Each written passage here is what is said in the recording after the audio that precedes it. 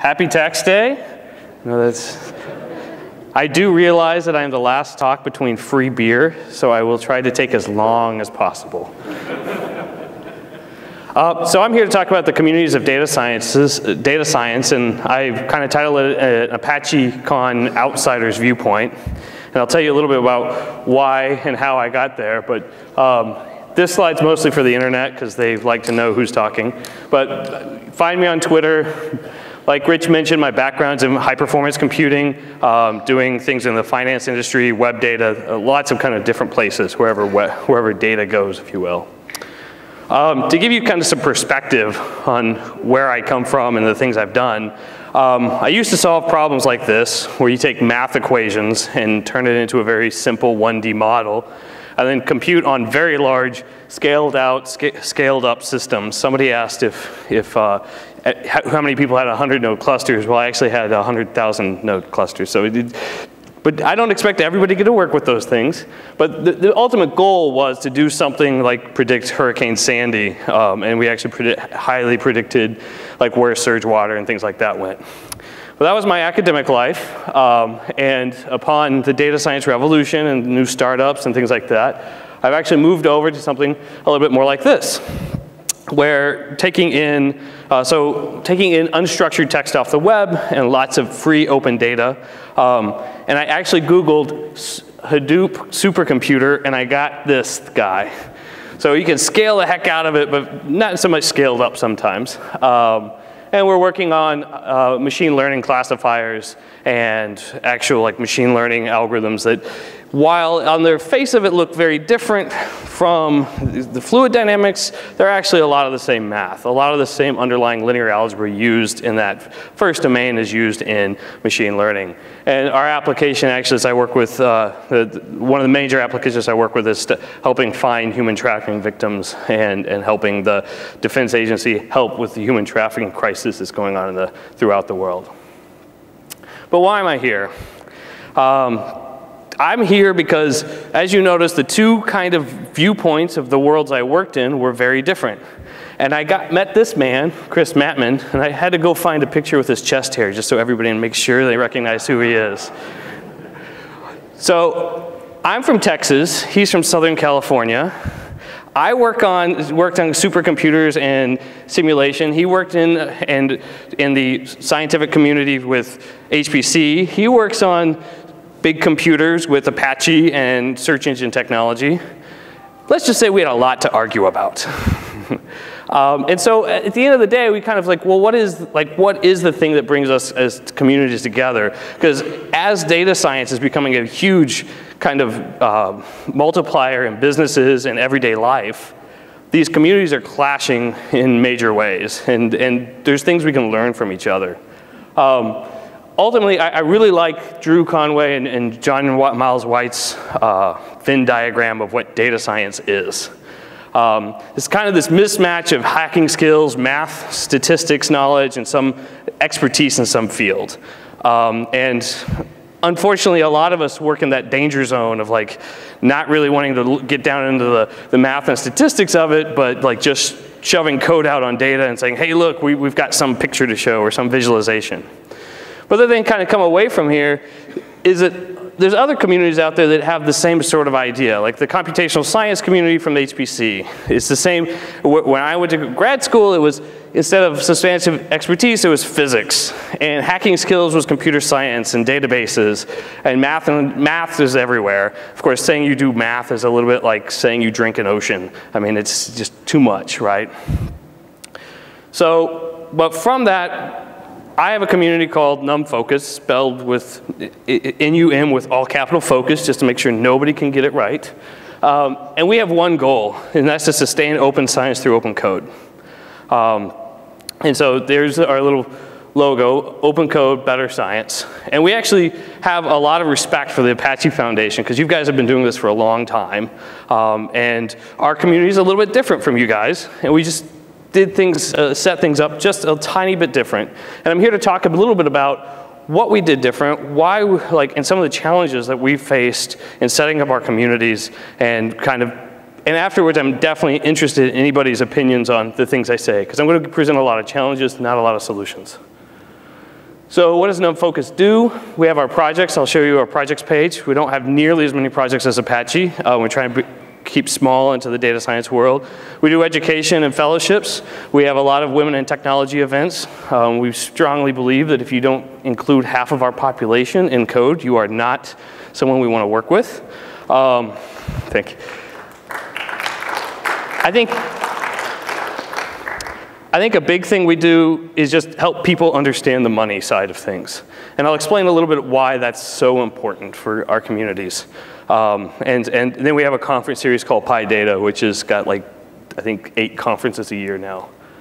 Um, here are a few of the, the codes that we work with. Um, these are all our fiscally sponsored codes. We have a, a, long list of codes that we do other things with. They primarily come from the Python ecosystem, um, but we've branched out into R and Julia and, uh, and anyone kind of work with. We have at least two uh, of these up here, data carpentry and software carpentry, which are purely educational.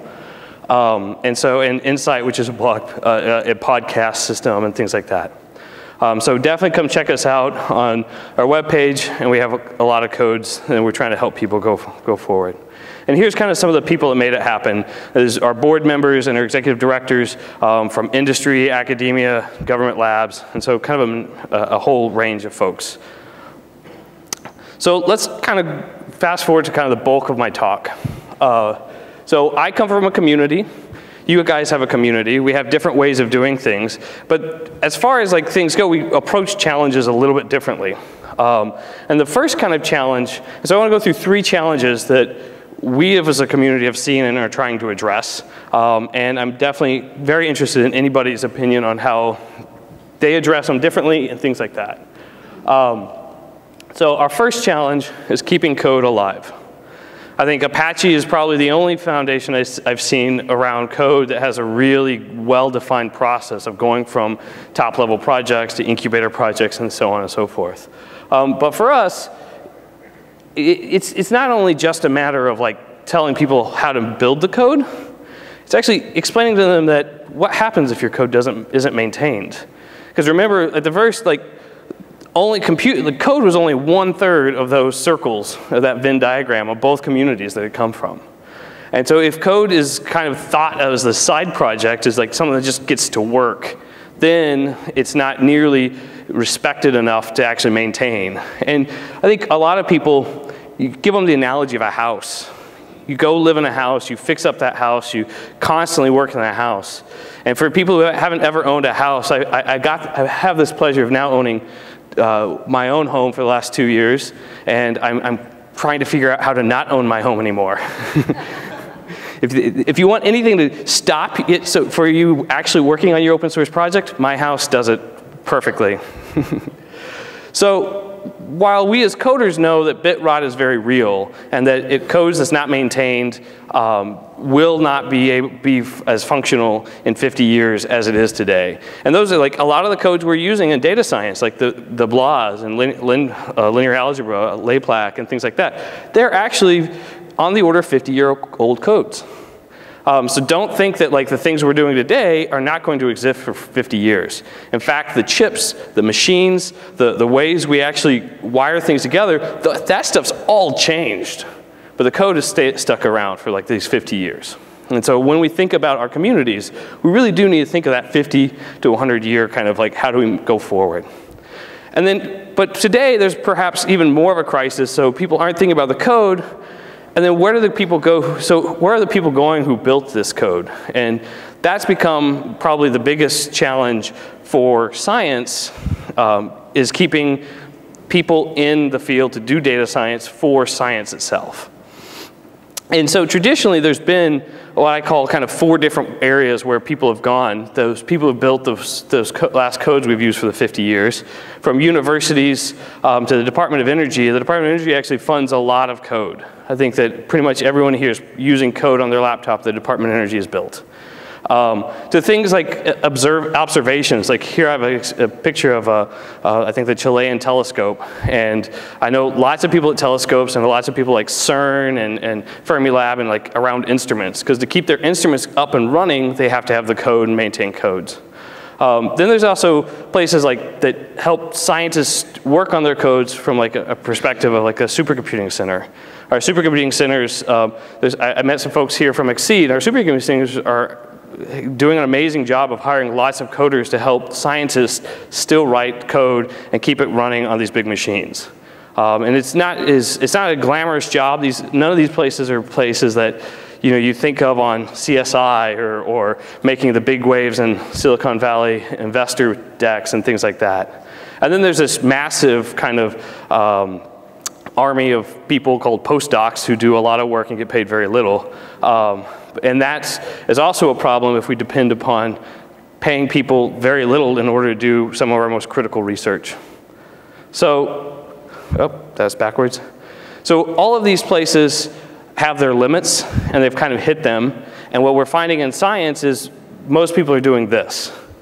They're finding out that the Google bus is going to pay them more, give them better problems, and, and get them into uh, career paths, perhaps, that um, are more amenable to their, their way of life, of actually working on the code, maintaining the code, understanding. So there are companies that understand code is very important.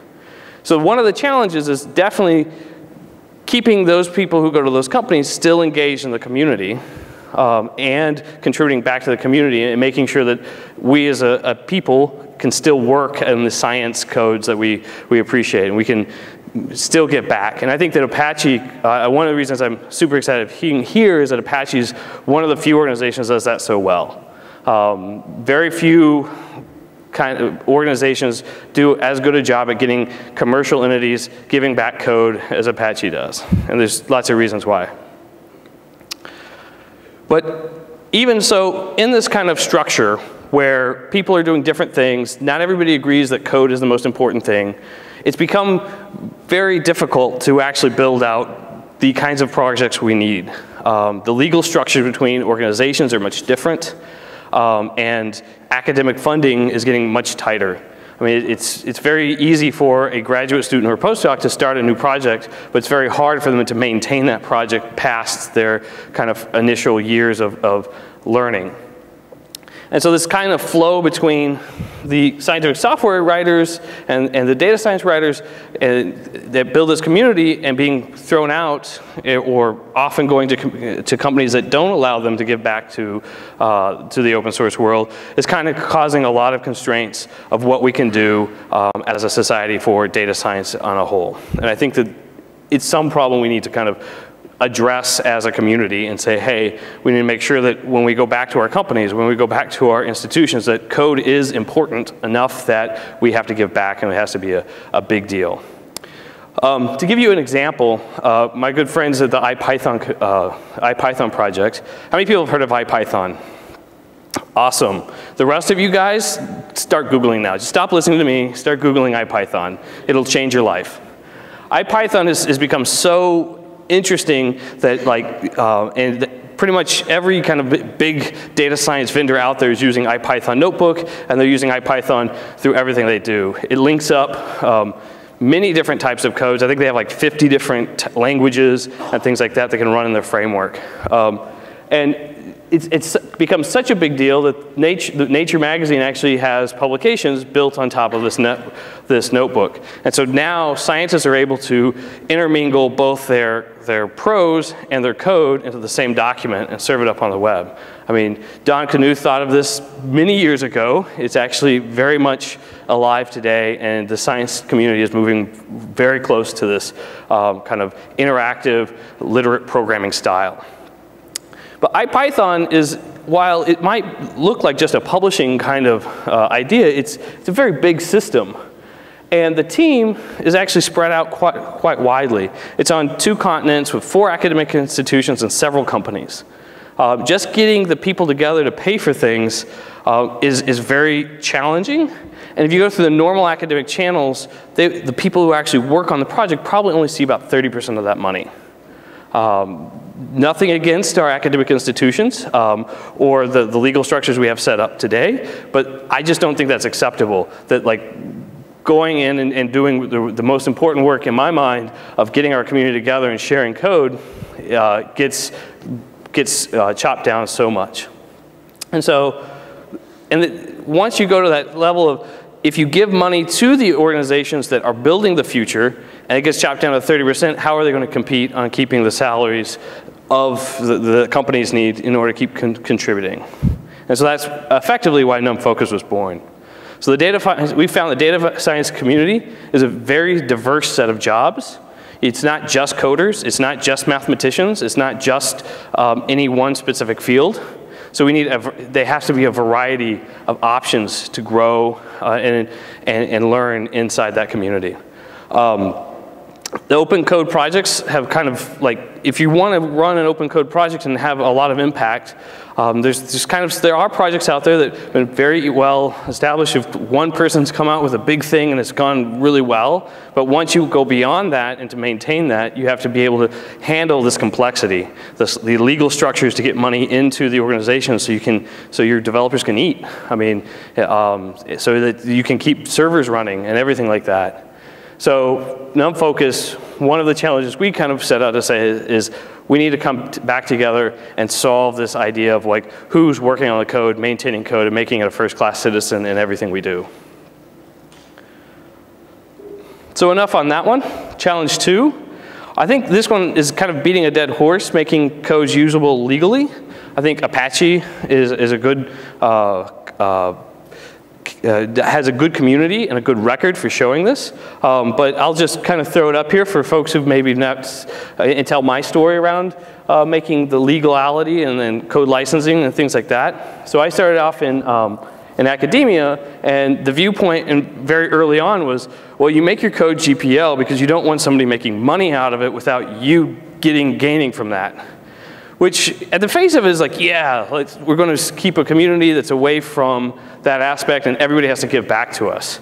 Um, but very quickly you learned, well, what, well, wait a minute, like the government pays me to do innovation into my code, and then I'm telling the, everybody else that they have to play by my rules in order to use my code.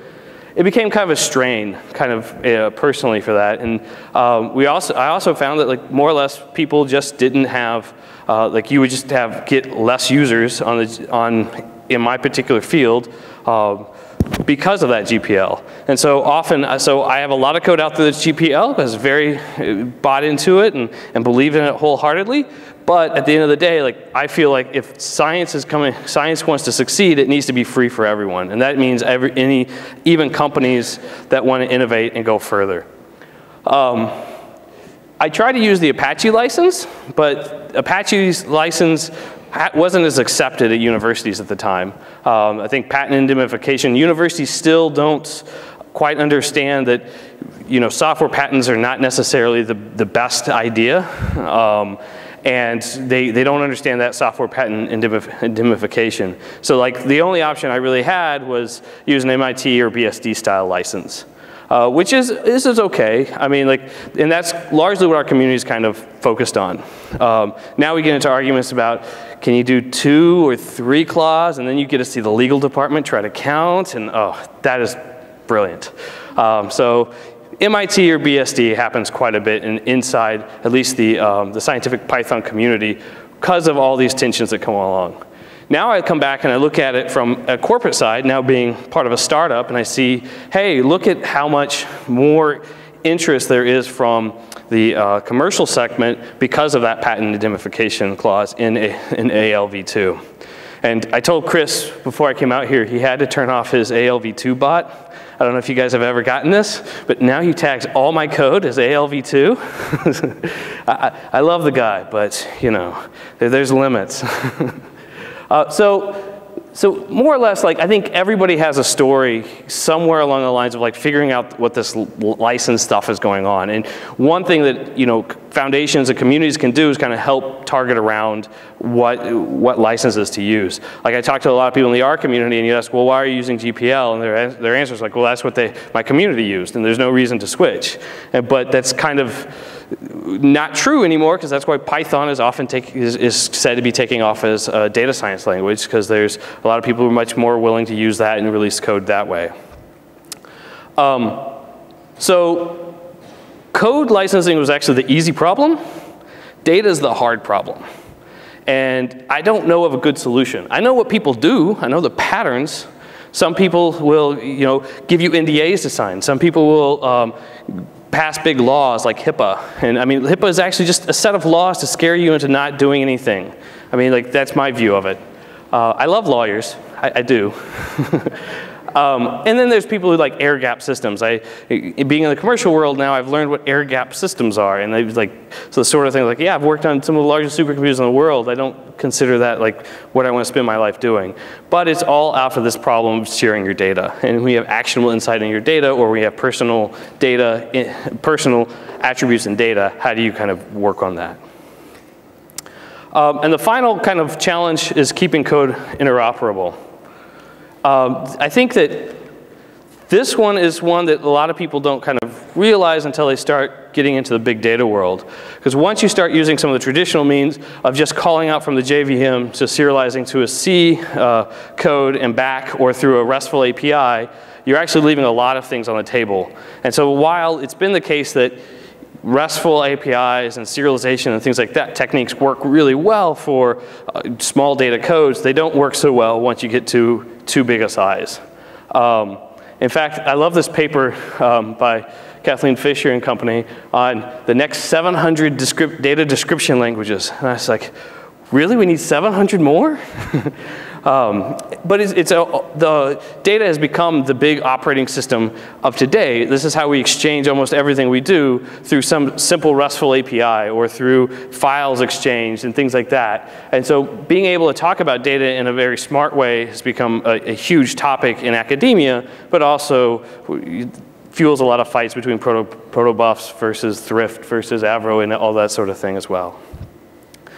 But there's also kind of something else going on as well. And I think we see in this conference a lot of containers coming along. And there's this kind of viewpoint of like containers versus install. Um, so my company produces an open source product called Anaconda, which just helps people install stuff um, and makes it very easy for you to install stuff. And then we also use Docker a lot because installing other people's software is the most pain you will ever face in your life.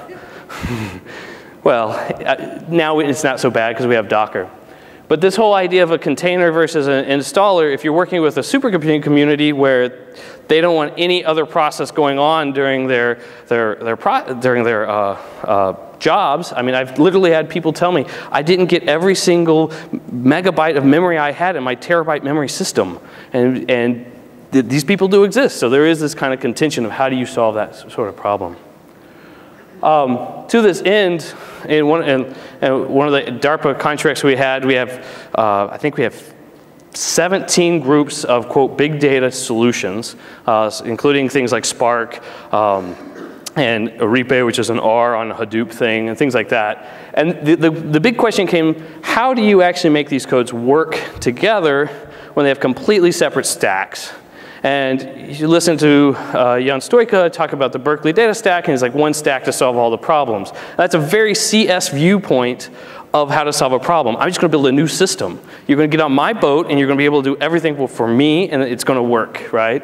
Uh, so we built a little code that was going to call out to uh, the, the, common crawl and do a lot of uh, graph analytics um, with these, I think, the end of the day, it was like, it ended up being seven different languages. Um, but this is the, the X cross-language uh, solution we came up with. When we step back and we ask, what did we actually do? We actually built a database that was exposed.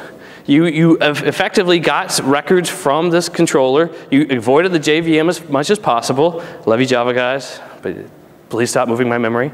Uh, but so you actually, we had people who own, like in an ownership model for where the data came from and, and so on and so forth. Turns out it's a little bit of a nightmare to use. Okay, but it was the only way we knew how to actually get all these programs together. So once again, it came back to let's stop thinking about um, exact semantics of data and go back and think about where is my memory, how do I describe that memory, how do I pass a description over, and actually get these codes working together. I think that more and more the communities inside data science are, there's more codes coming out and more languages, and getting those things interoperable is a very important, very critical piece of going forward and, and being able to use each other's work. So that's my three kind of basic um, challenges that I see. I, I, could go on and on, but um, Chris, Chris told me not to tell you how fast MPI is and how, how much I love uh, Python and that sort of thing, so I, will stop here. Um, but I think a few observations, especially for people who are just coming into the field or who want to be inside the data science world, um, is like keeping your keeping code and process open to new forms of collaboration and contribution is very important.